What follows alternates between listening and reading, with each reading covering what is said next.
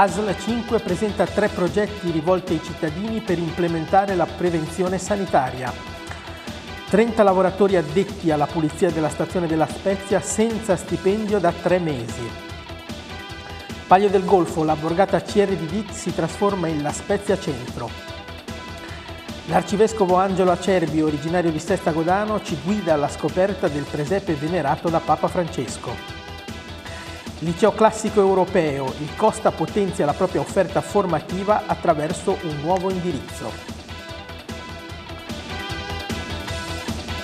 Buonasera e ben ritrovati con l'informazione del TLS giornale. In primo piano la sanità, se si punta sulla prevenzione sanitaria non solo si fa il bene dei cittadini ma si riducono nel contempo anche i costi del sistema sanitario. ASL 5 presenta tre progetti sanitari con l'ambizioso obiettivo di intercettare tutte le fasce d'età a partire dagli adolescenti. Chiara Alfonsetti e Raffaele Maulella. Medici di medicina generale specialisti insieme in tre progetti volti a intercettare la popolazione a partire dall'adolescenza e implementare la prevenzione. I percorsi sono stati presentati questo pomeriggio nella sede della direzione di Asla 5 in via Fazio.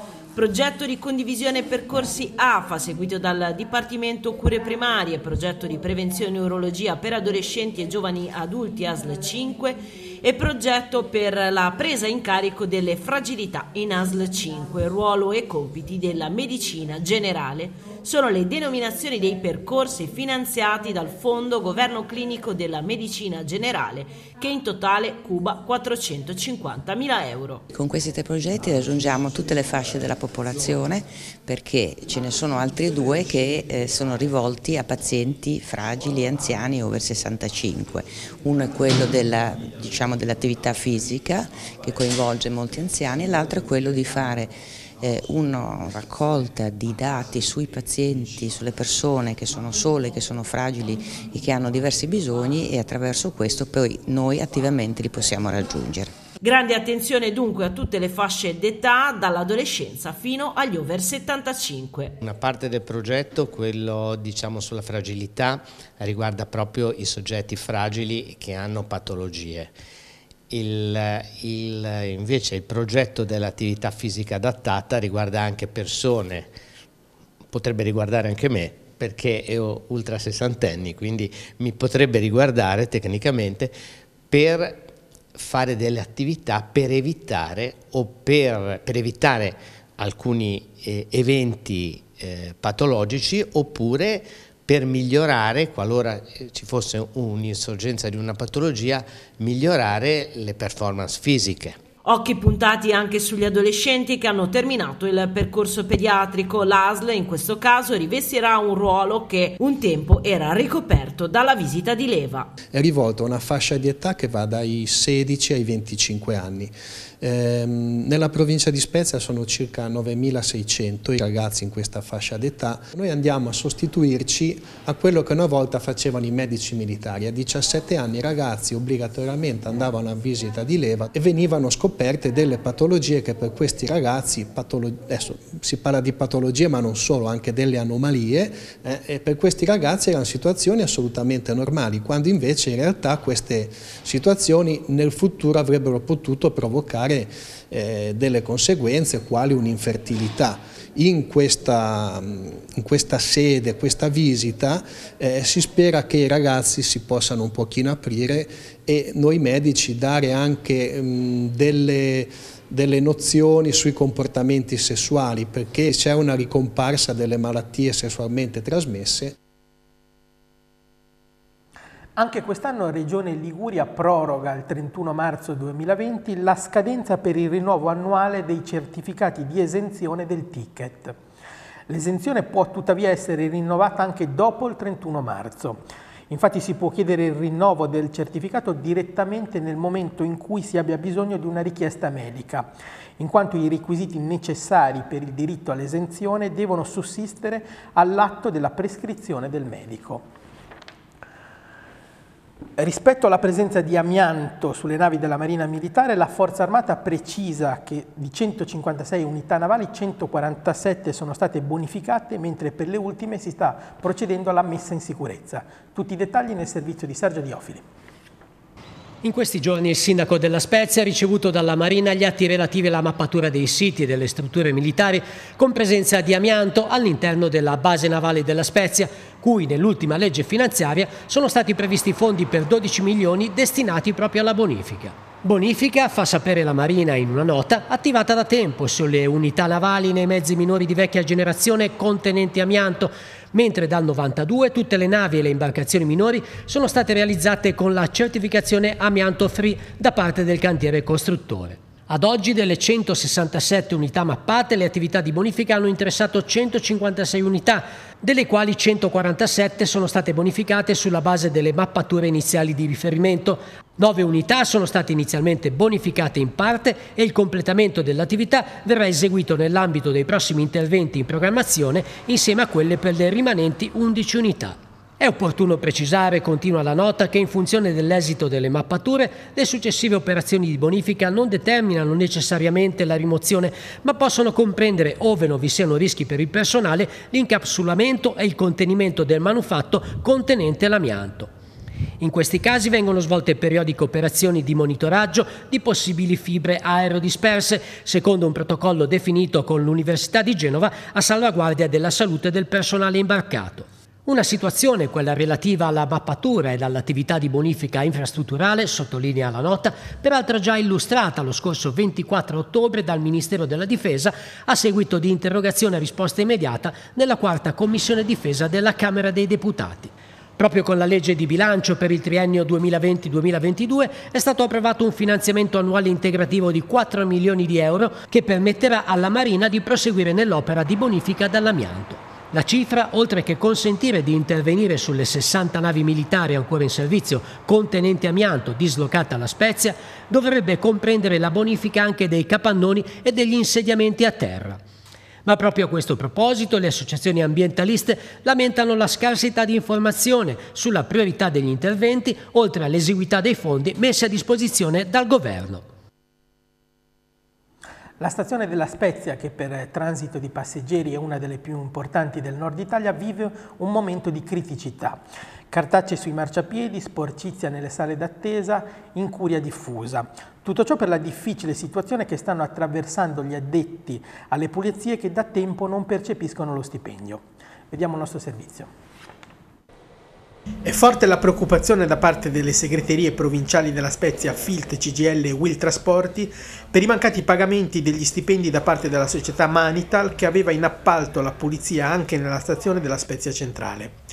Solo alcuni lavoratori hanno infatti parzialmente ricevuto le mensilità dovute, in surroga dal committente RFI, mentre la maggior parte di essi sta ancora aspettando gli stipendi di ottobre, novembre e tredicesima.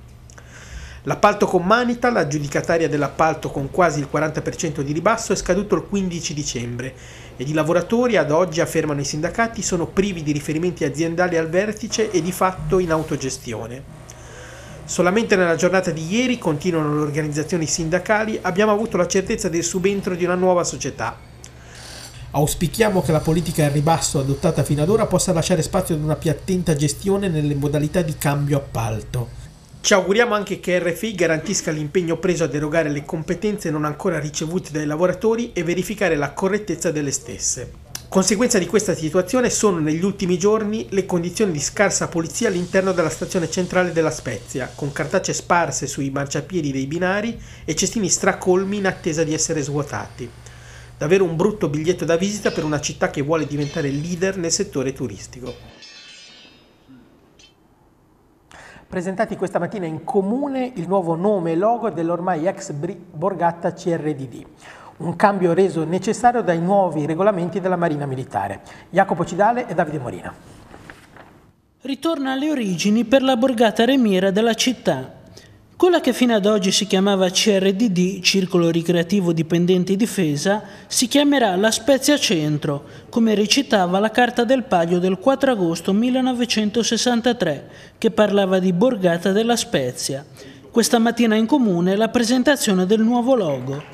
Di fatto diciamo, non è nata una nuova borgata, ma è solo una continuazione, un passaggio tra virgolette di consegne, ci siamo appropriati appunto della denominazione che eh, citava la Carta del Paglio del 1963, cioè Borgata della Spezia e anche la disfida che parla della gente della Spezia, quindi siamo riappropriati appunto del nostro nome. Non ci sarà però lo stemma della Marina Militare, che a causa di nuovi regolamenti interni a quest'ultima non si potrà più usare in modo permanente con quello del Comune.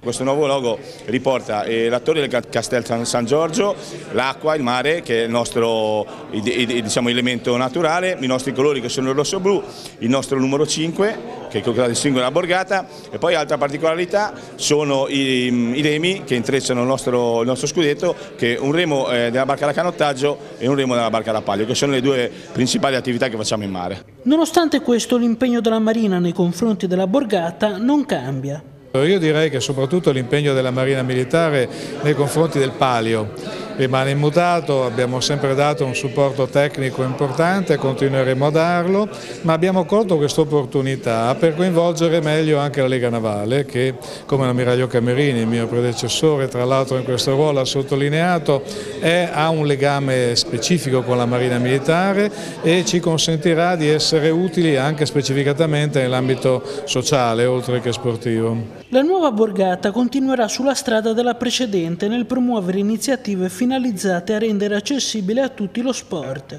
oltre che con la scuola di canottaggio giovanile, anche con una sezione dedicata all'insegnamento verso ragazzi e ragazze diversamente abili. Un ringraziamento particolare a tutto il gruppo dirigente della nuova borgata, Spezia Centro, per il lavoro che fanno quotidianamente con i ragazzi per insegnare a, eh, sport, eh, a, lavorare in uno sport pulito, a sacrificarsi, anche a una prevenzione sulla salute importante legata allo sport e tutto il lavoro di promozione sociale che fanno a fianco ai portatori di handicap. Quindi una borgata che dà un esempio anche eh, socialmente importante e va al nostro applauso. La borgata finora ha messo in bacheca due volte il palio maschile e otto volte il femminile. Le segreterie provinciali di SPCGL, FNP CISL e WILP WIL intervengono in merito alle anomalie riscontrate nell'applicazione della rivalutazione di alcune pensioni.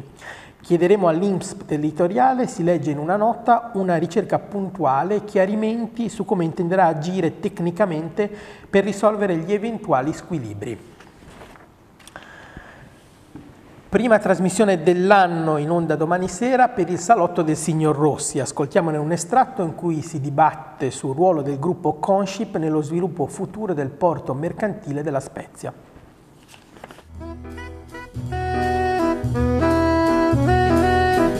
La Conship vuole veramente continuare a stare alla Spezia o vuole andare via? Per, perché hanno la strada spianata, noi ci siamo opposti a, al piano regolatore portuale che fece il dottor Bucchioni come presidente dell'autorità portuale, lo sa benissimo che erano visioni contrapposte, la nostra e quella dell'autorità portuale. Però adesso questa roba è legge e quindi la domanda appunto sul porto è questa, quale sarà il futuro di questo porto? Lo dico da ambientalista ma lo dico anche da cittadino spendino. C'è un ritardo nel eh, programma di investimenti della Conship che però per quanto mi consta vanno avanti, ma che eh, stanno sottoponendo a una verifica tecnica il progetto di ampliamento del Molo Garibaldi e eh, la, diciamo che il management Conship è cambiato eh, ultimamente e eh, la proprietà vuole verificare che eh, la progettualità relativa all'ampliamento del Molo Garibaldi sia adeguata allo sviluppo dei traffici internazionali. È una verifica che non si fa in due giorni e che sta portando via forse troppi mesi rispetto alle aspettative, che erano maturate in giro, ma che dovrebbe, dovrebbe eh, esplicitarsi eh, a breve. Però c'è una via nazionale approvata sul Garibaldi, quindi la strada anche ambientale non è più quella dell'impedimento. Sì, no? però c'è, eh. il solito problema dei dragaggi che è il problema storico della competitività del porto di Spezia. Quello, se i dragaggi sono fatti bene... Eh, sì, sì, ma cioè, non è fatto Noi abbiamo avuto il problema dei dragaggi perché i dragaggi sono stati fatti in una maniera indecente, eh, quelli che sono stati fatti. Eh, Come no? Eh, c'è diciamo, stato, c'è stato il blocco stato del TAR del 2001. Blocco del TAR del 2001, però poi eh. dopo si sono stati ripresi e tant'è che abbiamo avuto un problema legato a alla moria dei Comunque mitili, c'è... c'è un procedimento giudiziario in corso, come lei, sì. dottore, sa benissimo, e quindi insomma Comunque c'è questo problema. Facciamoli bene, noi lo dicevamo. Io mi aspetto solo Guardi, che sia temporale. dottore, quando noi dicevamo, dragaggi, facciamoli con, eh, con, con la bena idraulica, con diciamo, l'aspirazione, non con la benna tradizionale, ci hanno sempre detto che non era possibile, adesso sembra che invece questo tipo di tecnologia sia, sia, sia fattibile, per cui faccia, faccia, facciamoli bene.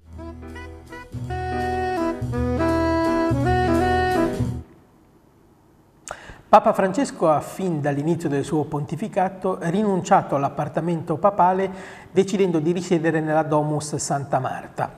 Questo lo rende, per così dire, vicino di casa dell'arcivescovo Angelo Acerbi, nativo della nostra provincia, nativo di Sesta Godano. Ed è proprio lui a guidarci alla scoperta del presepe di Santa Marta, venerato anche dal Santo Padre. Vediamo il servizio, le immagini sono di Raffaele Morella. Nella Or di Santa Marta si allestisce un presepe che è anche eh, venerato eh, guardato dal Santo Padre quando passa per andare nella cappella. Ed è eh, quest'anno raffigurato in una vecchia costruzione di, di pietra o finta pietra che lascia nel centro la, eh, la Sacra Famiglia con la culla del bambino Gesù sorretta da due angeli eh, con la Madonna in ginocchio e San, Piet San Giuseppe ricurvo è tutto un blocco di legno molto pregiato come pure le varie statue dei pastori con le le pecore sulle spalle, c'è un suonatore di pifferi, due anzi, e poi parecchie pecore che eh, pascolano. Il liceo eh, Lorenzo Costa potenzia la propria offerta formativa attraverso lo sviluppo di un nuovo indirizzo, il liceo classico europeo. Alle tradizionali materie di un liceo classico, il greco, il latino, la filosofia, la storia, verrà affiancato con maggior decisione lo studio di materie scientifiche ed economiche e l'utilizzo di laboratori didattici. Una scelta per essere più competitivi in un mondo sempre più globalizzato che sta già riscuotendo grande successo tra le nuove iscrizioni. Chiara Alfonsetti e Raffaele Molella. Il 30% dei nuovi iscritti a Lorenzo Costa della Spezia puntano al liceo classico europeo, il primo in Liguria, che avrà la sede nello storico edificio di Piazza Verdi. Un percorso nuovo che ha attirato l'attenzione di molti ragazzi che dovranno affrontare le superiori per l'anno scolastico 2020-2021.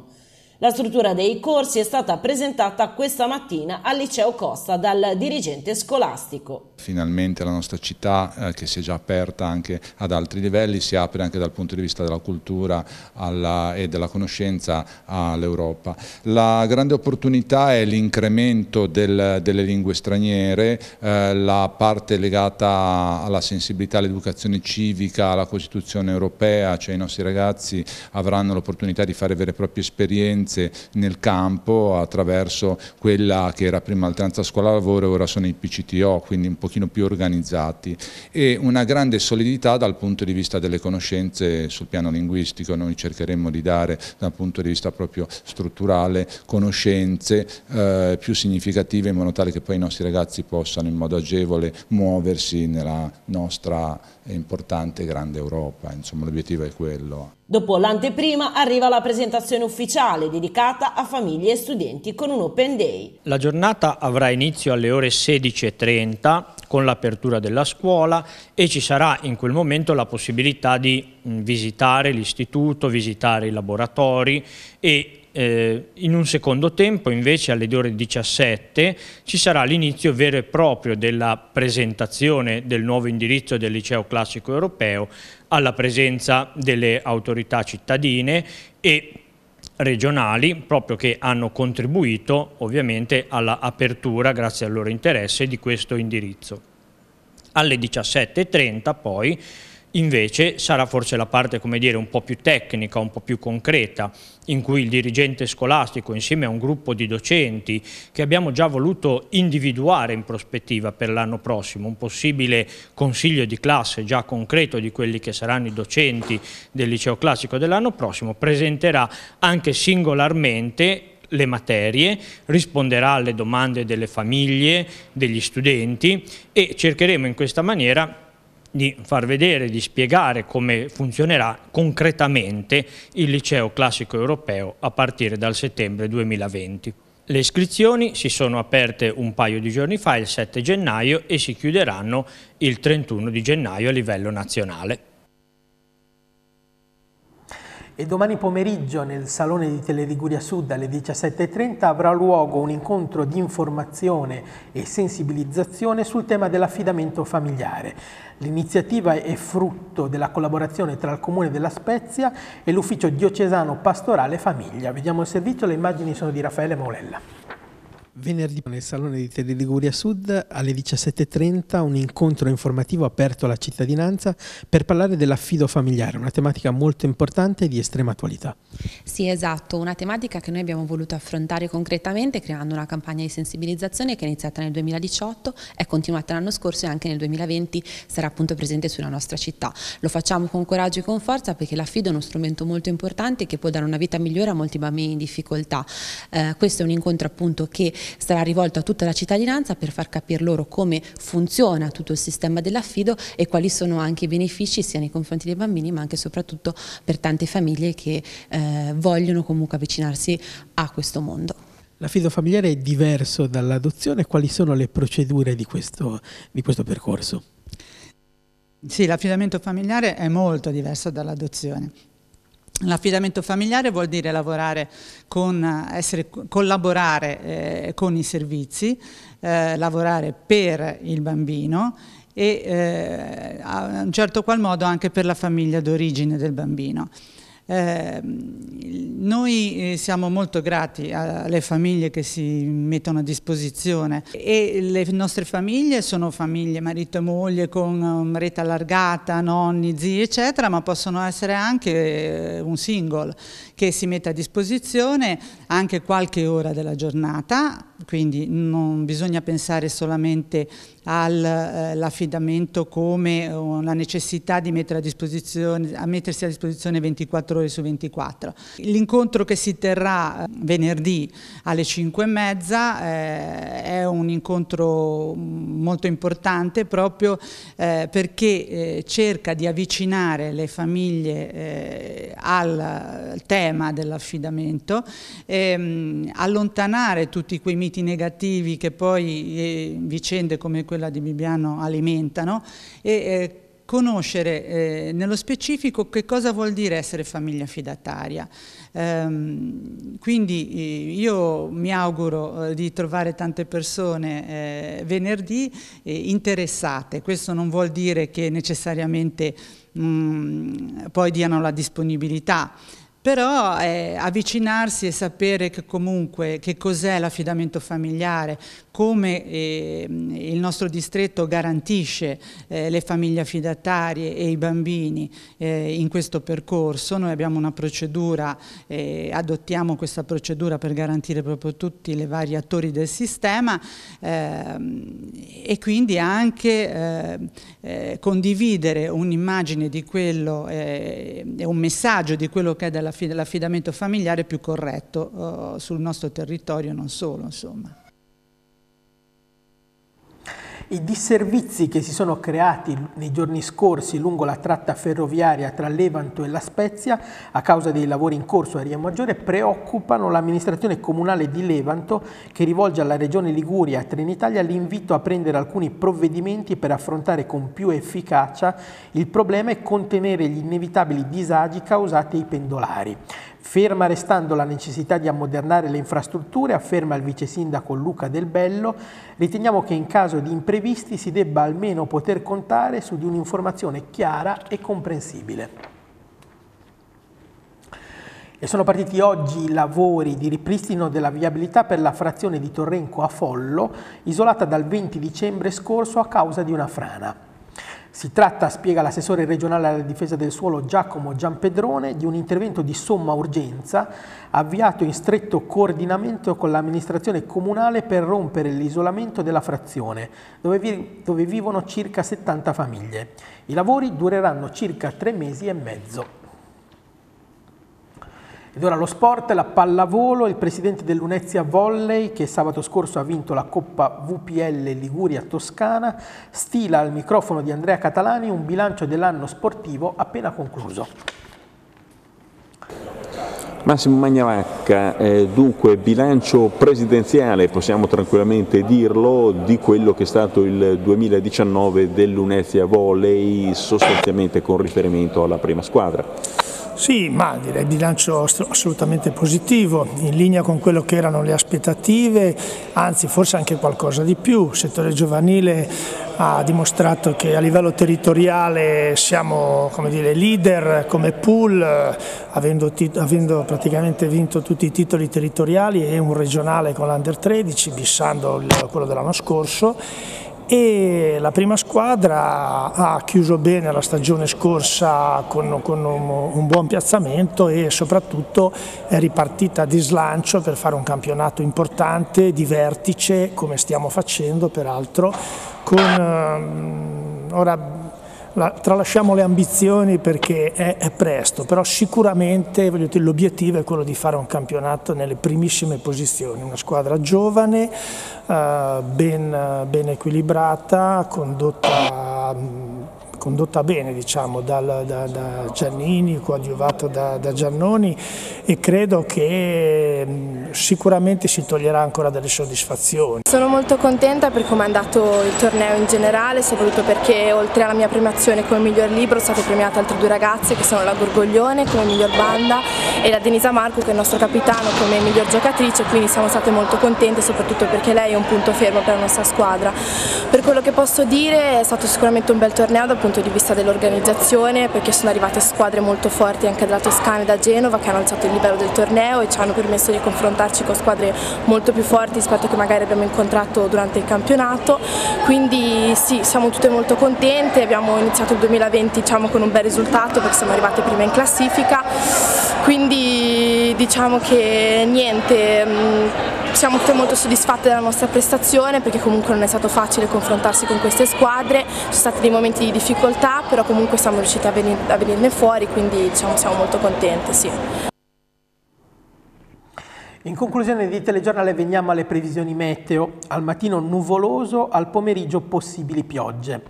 Umidità su valori medio-alti, venti deboli, mare mosso, le temperature oscilleranno da una minima di 8 ad una massima di 10 gradi. Ed era davvero questa l'ultima notizia, da parte mia l'augurio di una buona serata.